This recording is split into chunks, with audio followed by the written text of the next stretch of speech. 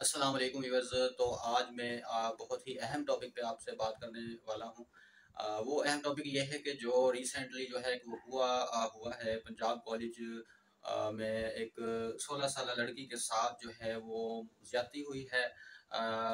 ज़राए के मुताबिक जो है, वो इदारे के सिक्योरिटी गार्ड जो है, वो उसने ज़्यादा की और उसके बाद जो है ना, वो लड़की जो है हॉस्पिटल में आईसीयू में कुछ रोज़ जो है वो एडमिट रही है उसके बाद जो है उसकी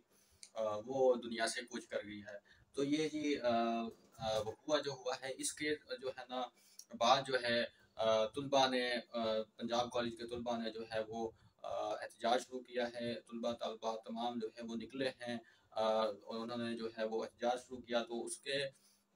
जो है रिस्पॉन्ड में पुलिस जो है वो उसने जो है ना तलबा पे तशद शुरू कर दिया और उनको जो है ना वो मारना, भगाना जो है ना वो शुरू कर दिया।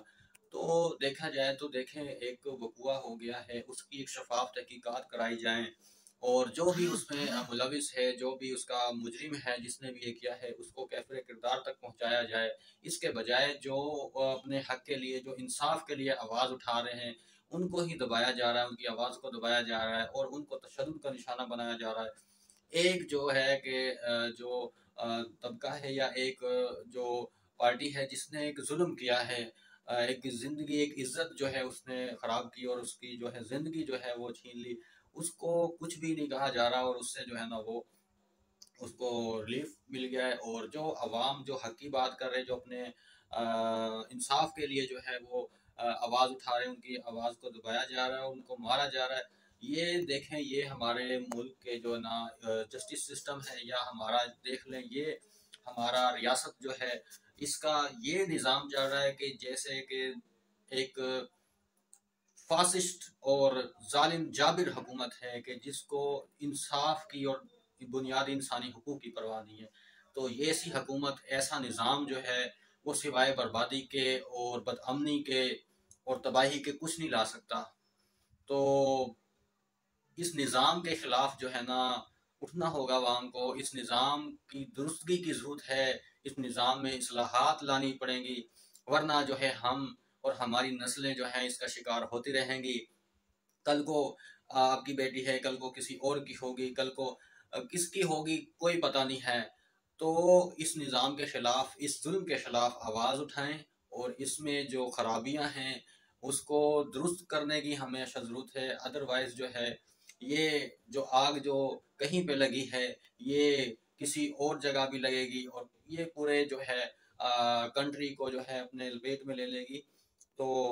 खुदारा हम मेरी हुकूमत से और दूसरे उन जो भी अरबाब इख्तियार हैं उनसे ये गुजारिश है कि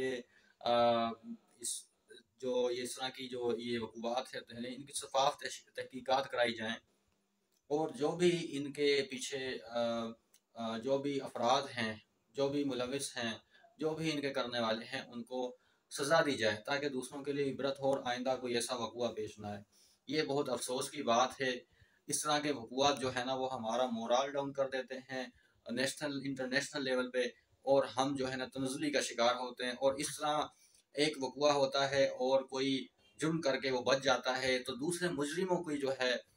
हौसला अफजाई होती है और वो अपने जराइम में मज़ीद जो है बाहिमत और बाहौसला होकर जो है वो ऐसे जराइम करते हैं और ये जराइम की जो शरह है वो बढ़ती रहती है। जब इंसाफ नहीं मिलता तो फिर जराइम तो बढ़ेंगे ना, फिर तो जो मुजरिम आदि लोग हैं वो और ज़्यादा जराइम करेंगे और वो इस तरह जो है ना माशरा और बदअमनी, बदहाली और तबाही का शिकार होता रहेगा। तो हमें इस पर जो है ना गौर करना चाहिए और हमें इसकी असलाह के लिए जो हमसे हो सके वो करना चाहिए। शुक्रिया, अल्लाह हाफिज़।